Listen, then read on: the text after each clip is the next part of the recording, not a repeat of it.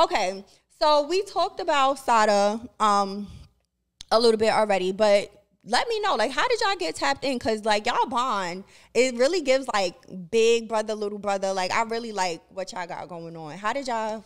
I grew up with his little brother Quill, um, Mhm.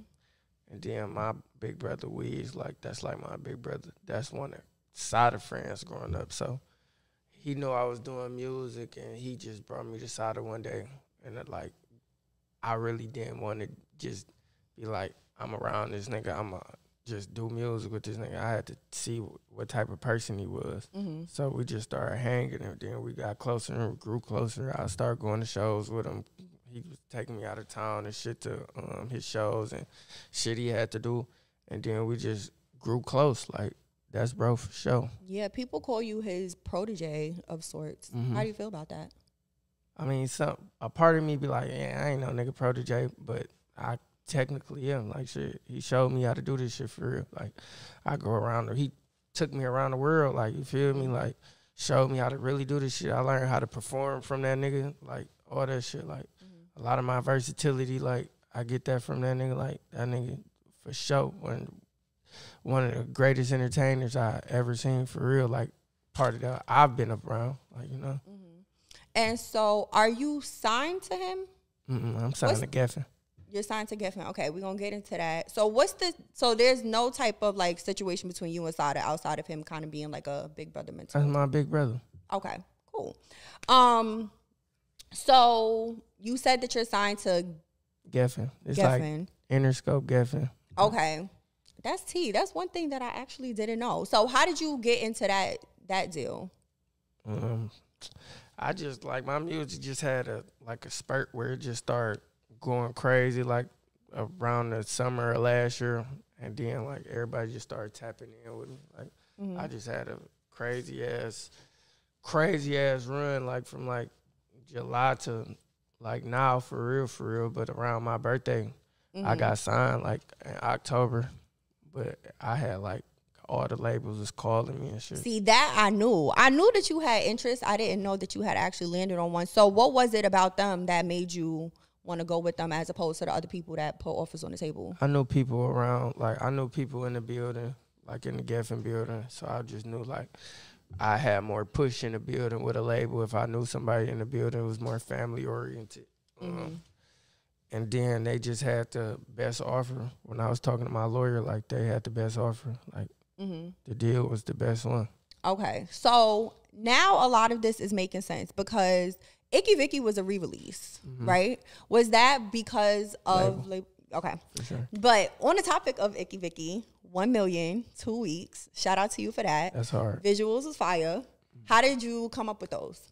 I really wanted to be Chip Skylark because it was Shiny like Icky Vicky. You feel uh-huh. me?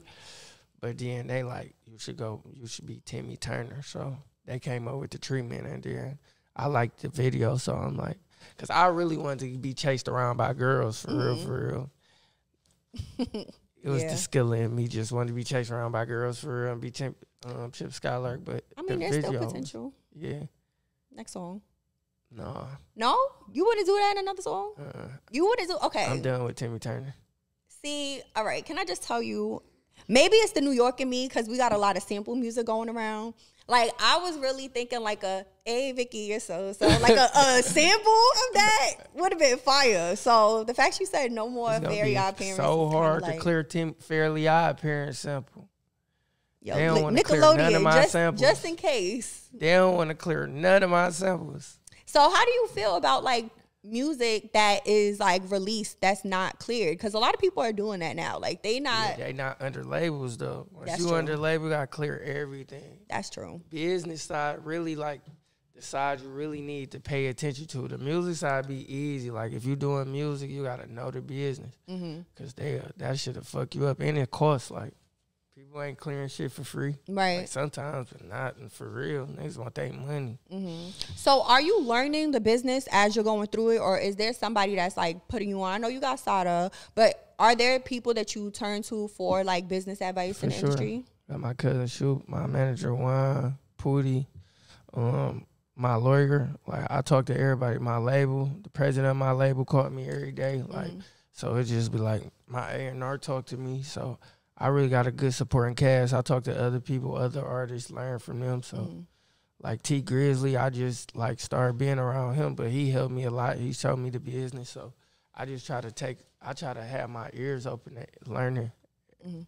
through everybody for real. And I'm glad you brought up T because I was wondering also how y'all became connected. Um, he just tapped in one day. Like Mm-hmm. I know, like we all from Detroit, so of course I know somebody he knows. So Mm. we just like we just did some music one time. When I was, I really seen it when I was in Atlanta one time, and then after that, we did some music in LA, and then we just like, I ain't gonna lie, T. When I work with T, the energy be good. Like I be going on vibes and energy. Mm-hmm. Like the energy was there. We made some good music, so we like we gonna come out with a little tape or something. Okay, yeah, I saw the tent in the bio, and then he um did like the car freestyle, and then he nominated you to do yours, and then you did yours. You sent that back real fast too. It was like under an hour, Mm-hmm. For sure. I think. Yeah, you did that, and it was good. So, but even with the good, not saying that this is bad, but like you did that very quick. Fire in the booth, you bodied, but you said that you was nervous. I was nervous. Why was you so nervous? Cause this is a camera. Like I seen Drake on that.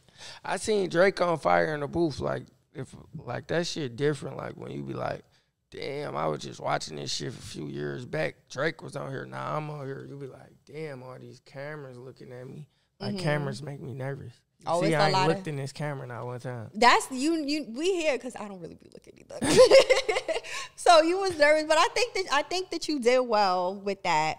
Um, but I thought it was just interesting to see like when you were like handling it on your own in front of your own camera, like you sent it back real fast, and then like on that platform, you was like, "Oh, I'm so nervous." So how do you get over like your nerves, and how do you build your confidence in situations like that? Just do it. I, I try not to think about it. Okay. I try to close my eyes. Then when I open it, it's like I'm doing it now. So when I open my eyes, I gotta keep doing it, or I'm gonna be embarrassed. I'd rather be shot than embarrassed though. Like Mm-hmm. I don't want to embarrass myself on camera. So if I'm already on camera doing something, I gotta keep doing it. So is that like a one take situation? It was like it is what it is. and you No, Oh, like okay. I, sometimes I it be one take, but a lot of times I ain't gonna lie, like that shit just Mm. not easy. okay. I So- be nervous. Okay. Well, that's normal. Um, so how do you feel about when people compare you to other artists? Because that's something that's been happening a lot lately, especially on Twitter. And I feel like you handle it very well because you respond with the opposite artist answer. I mean, the opposite artist name. It's because like You're not trying to. I don't really care. Like opinion, opinion don't pay me. So it'd be like, if I could big somebody else up, I big somebody else up. I don't gotta have like, I ain't gotta be walking around like I'm the best. I don't even Mhm. care as long as I get paid for real, for real. You don't care as long as you get paid. All this shit a competition though. Like, don't get me wrong. Um, because I feel like that feeds into you saying that you will work with your ops if it made sense. For sure. Um, how would you feel though if you were working with somebody who had beef with somebody that you was cool with, and then they went on the song and dissed the person that you was cool with? I'm not doing that. How do you handle that situation? Not gonna get on the song. I tell you, don't say that. That's disrespectful. It's disrespect when you disrespect somebody you know I'm cool with. Like I tell everybody, like, Mm-hmm. like some of my homeboys cool, not cool. Like don't get along with some of the other people that I'm cool with. So it be like, bro, y'all could disrespect each other, but don't do that shit around me. Like, say you and her had a problem. If I'm with her and you see us out, don't do nothing to her. Don't even try that. That's disrespecting me. Mm-hmm. So And I, I'm glad you kind of cleared that up because that's also that also kind of feeds into the narrative that people have when it comes to you working with Sada and T. Um, we don't got to get into the politics of all of that, but I know that some people are like curious as to like what that situation looks like when you are close to two people who aren't really seeing eye to eye in a moment. I mean, Sada and T knew each other before me. That's that's not my business.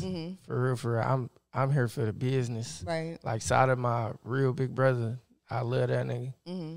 Me and T getting cool, but like it ain't nothing like that. Like to where like ain't nobody died. Them niggas ain't fought. None of that shit. So I really like I'm here for the business. Like Right. I don't be going into business thinking personally.